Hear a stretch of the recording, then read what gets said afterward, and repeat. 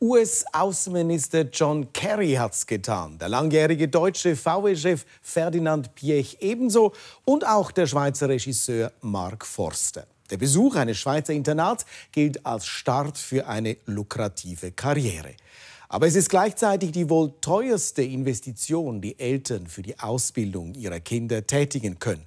Bis zu 130.000 Franken kostet ein Jahr.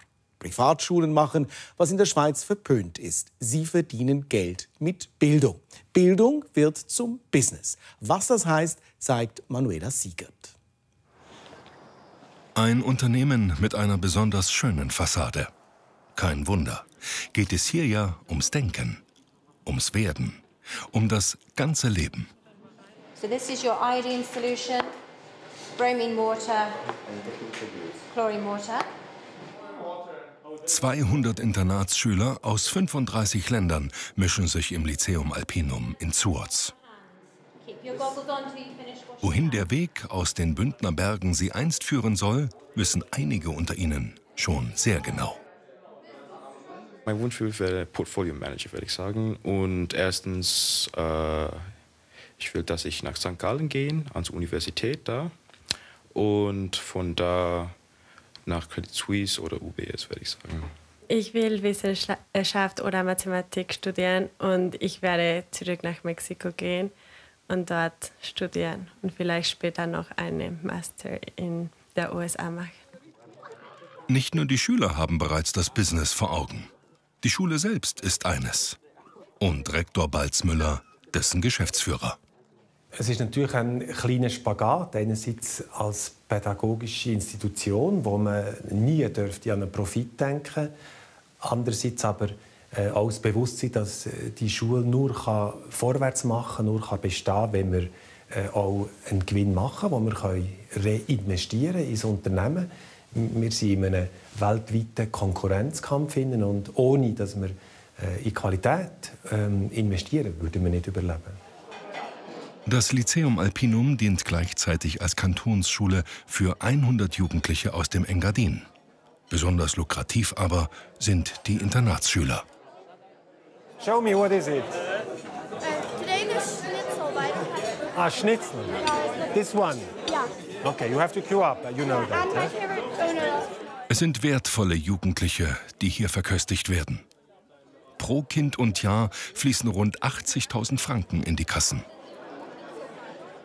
Ihre Eltern sorgen somit für 90 Prozent des 20 Millionen Umsatzes der Schule. Beträge, die viele Kunden aus dem umliegenden Ausland nicht mehr gutieren. Vor allem wegen des starken Frankens. Ganz sicher ist der Euroraum ein Problem für uns. Ganz sicher, seit dem Euroschock, 15. Januar, haben wir einen deutlichen Nachfragerückgang aus dem Bereich Deutschland und auch Italien. Das waren eigentlich unsere Stammmärkte bisher. Was heißt ähm, deutlich? Deutlich schwierig. Mit, es könnte ich nicht unbedingt in Prozent ausdrücken. Wir merken einfach gefühlte, gefühlte 50 Prozent weniger. Inzwischen muss Balzmüller in die Ferne blicken, um seine Kundschaft zu finden. Er hat die Marketingabteilung aufgestockt und er bearbeitet neuerdings vor allem große Schwellenländer. In wenigen Tagen fliegt er nach Indien. Vor allem kürzlich das Thema Cricket in den Vordergrund stellen und vielleicht noch ähm, mehr Bilder ausdrucken von der schönen Landschaft, weil ähm, ja, die Luft ist ja ein grosses Thema in Indien, die große Luftverschmutzung. Ich ja. denke auch eine Karte könnte man noch her tun von mhm. der Schweiz, ähm, damit sie auch gerade sehen, dass wir bei St. Moritz sind die ganze Welt als potenzieller Markt. Private Bildung ist zu einem globalen Business geworden. Inzwischen breiten sich arabische und fernöstliche Bildungskonzerne aus bis in die Schweiz. Am Genfer See etwa hat der Konzern GEMS aus Dubai 2013 eine Schule eröffnet. Auf 14.000 Quadratmetern ist Platz für 900 Schüler viel Technik im Unterricht und Ganztagsbetreuung für 2- bis 17-Jährige. Es hat noch Platz für Kinder. Viel Platz. Nicht einmal ein Viertel der Plätze ist belegt. Noch ist diese Schule ein Verlustgeschäft für den Mutterkonzern. Der Pachtvertrag aber zeugt vom Glauben an die Zukunft. Er läuft 30 Jahre. Eine halbe Stunde entfernt vor den Toren Genfs das Collège du Le Mans. Die Tages- und Internatsschule gehört seit letztem Jahr dem Hongkonger Konzern Nord Anglia Education. Für Rektor Thomas Schädler heißt das, er ist Teil einer weltweiten Gruppe von 42 Schulen. Wie bei allen anderen Unternehmen, die an, äh, an der Börse gehandelt werden, ist eigentlich Wachstum das, was gesucht wird. Und unsere Idee vom Wachstum ist, dass man jede Schule natürlich einmal ähm, größer werden lässt, aber das hat ja dann auch Limiten aber dass man in den nächsten fünf, zehn Jahren einfach die Anzahl von Schulen auch will, äh, vergrößern. In der Romandie gehören drei weitere Schulen zum Konzern. Weltweit strebt Nord Anglia in den nächsten fünf Jahren eine Verdopplung an. Die Entwicklung im globalen Bildungsmarkt zeigt nach oben. In der Bank Julius Baer hat man die aktuellen Wachstumsprognosen ausgewertet. Das Marktpotenzial ist enorm.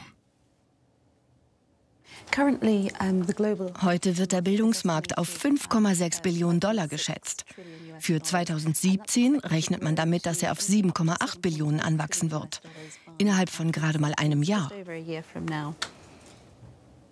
Amanda Kane hat an einer Studie mitgearbeitet, die die Gründe für den Trend im Bildungsbereich aufzeigt.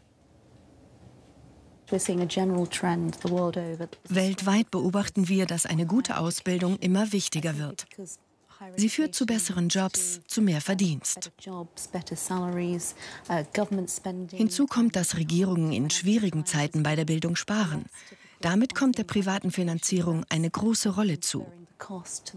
Die Menschen haben erkannt, dass man in diesem Bereich investieren muss. Es ist ein Investment, das sich später auszahlt, für sich selbst oder für die Familie.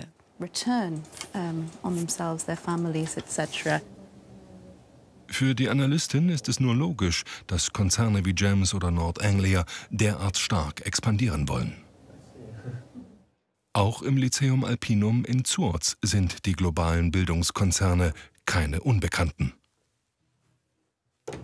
Ja, wir sind wirklich schon angefragt worden, ganz konkret. Und ich glaube, wir sind eine Schule, die auf dem Radar ist von diesen Investoren. Wir sind also interessant für sie, aber wir bleiben unsere eigene AG.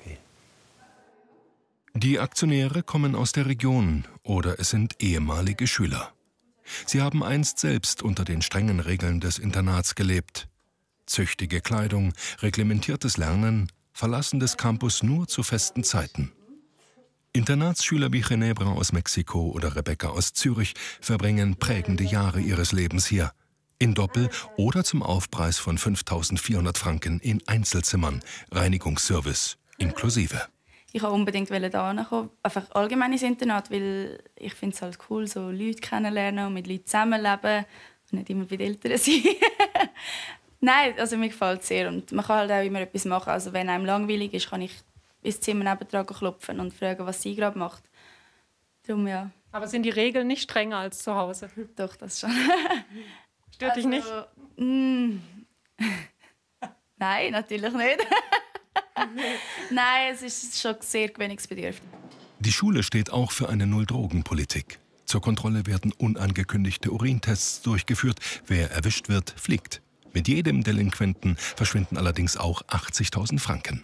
Ja, das Risiko nehmen wir auf uns. Das ist kein Problem für uns, weil für uns in dem Sinne die Drogenfreiheit ein riesiges auch Verkaufsargument ist, erstens. Und zweitens, weil wir auch von unserem Leitbild her für die Gesundheit von unseren Leuten Verantwortung übernehmen wollen. Und eben Leute, die Cannabis konsumieren zum Beispiel, äh, das wollen wir nicht. Im festen Glauben, dass es immer weitergehen möge, baut man in Zurz derzeit für 40 Millionen Franken aus. Zunächst 60 neue Zimmer für Mädchen. Denn diese sprechen am ehesten auf Schönes und Neues an. Balzmüller ist stolz auf seine Eigenständigkeit. Dennoch sind auch im Engadin Wachstum und eine globale Ausrichtung die Gebote der Stunde. Wofür in Zurz die rund 80.000 Franken Jahresgebühr ausgegeben werden, sehen Sie auf unserer Internetseite.